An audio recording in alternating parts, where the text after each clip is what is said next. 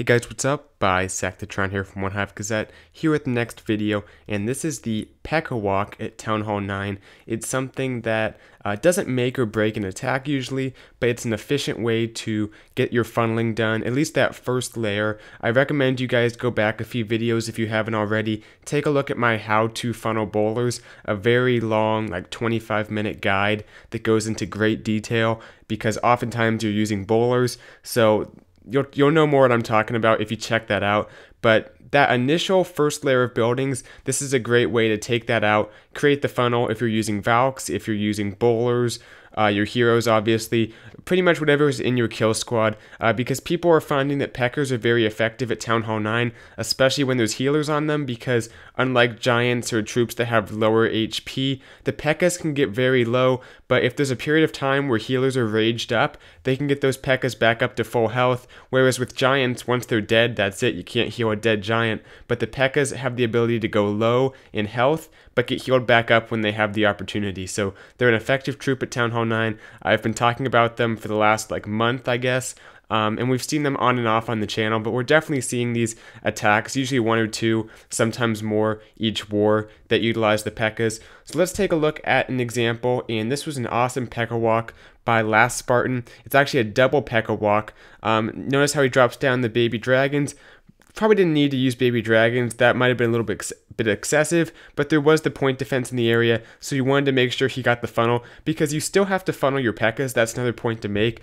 I don't. Sorry for pausing the video. I know it gets it gets annoying when people pause the video too much, but basically, uh, you need to funnel the Pekkas as well. You know what direction you want them to walk. You want them to walk towards where you're entering the base. So he's going to enter the base in this case by these storages, I believe. So he's going to have the Pekkas both walk in that direction, but he needs to make sure they do so by taking out a few crucial buildings to ensure they head the right direction. You can't just drop them down and expect them to go the correct way unless there's a gap in the base with the trash buildings.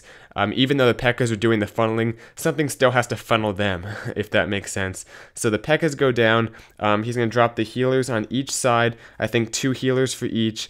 Uh, let those guys start walking. He goes ahead and uses the King along with one of the Pekkas, um, which was kind of funny. The King isn't quite as good for this because he doesn't get healed up as quickly. There's the, I think, half damage reduction uh, when you're healing a hero.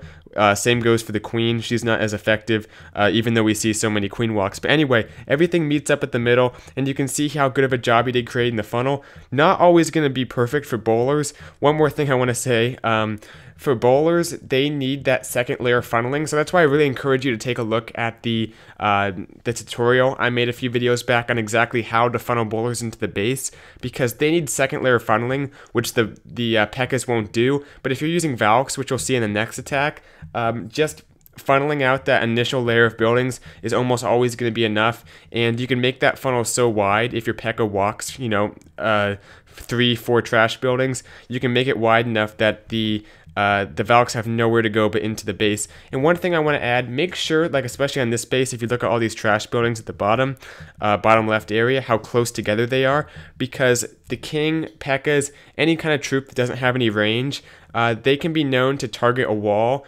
if the nearest trash building is too far. So if there's army camps, if there's spread out uh, buildings, things where they're going to have to walk a great distance between uh, buildings, that's when you want to be a little bit cautious about using this because you don't want your Pekkas to stop and have to swing through the wall, which you, you'll kind of see in the next attack I'm going to show.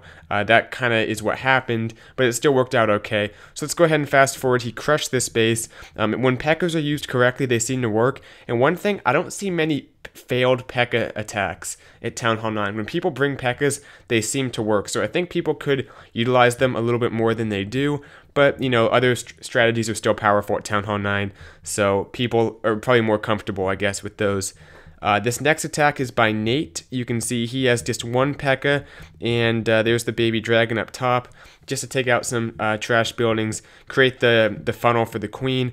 He goes ahead and I think drops four healers, three or four, probably four healers on her. Um, lets her kind of start on her walk. She's going to basically create the funnel from the top side and there's the CC lure. Just gonna get that lured out. Let the queen deal with it. Very easy lure. Uh, people sometimes put their CC by the queen, which I don't really get. I think it's more effective in the middle. but for whatever reason, we see that uh, a little bit. Maybe you guys know in the comments why that is the case. Uh, so yeah, the queen keeps walking through, goes ahead and drops down a baby dragon. Not sure what that was for, but um, I guess it'll I guess to follow the queen to the base. He wants the queen to actually enter the compartment right there and engage both the heroes. So he has the rages to keep her up.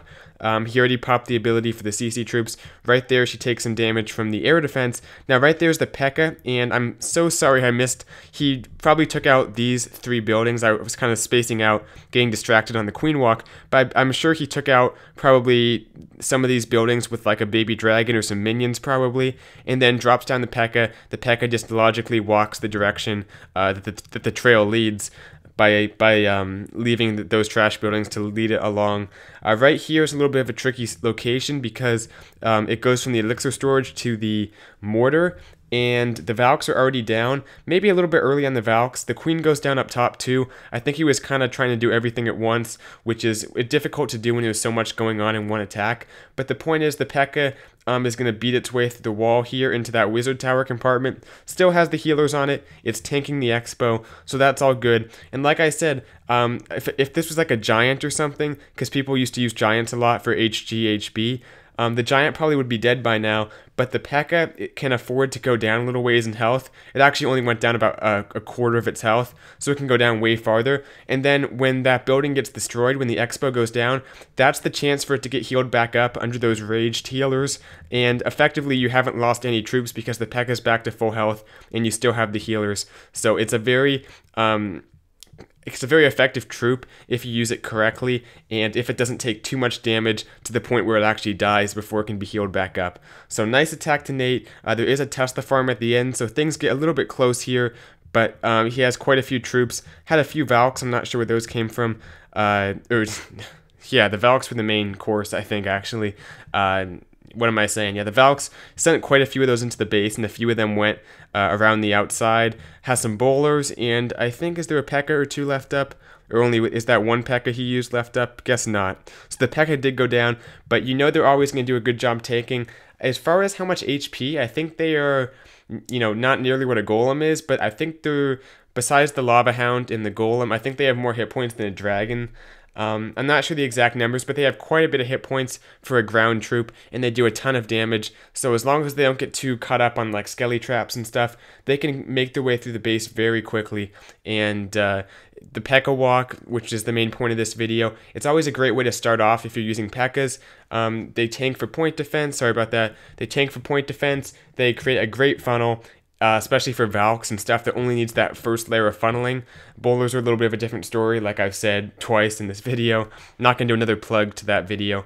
Uh, that would just be too shameless. So yeah, thanks for watching this. Hope you guys enjoyed the video. Hope you learned something from this. And for those of you Town Hall 9s out there, maybe you can use this in one of your next war attacks. I always encourage people to try out P.E.K.K.As at Town Hall 9. They're a fun troop to use, and I think that they are effective uh, along with bowlers and uh, Valks. A lot of these powerful troops can kind of just make their way through a Town Hall 9 base and overpower it in a way. So yeah, uh, I'm going to stop talking and end this video. Thank you guys for watching once again, and I'll see you guys later.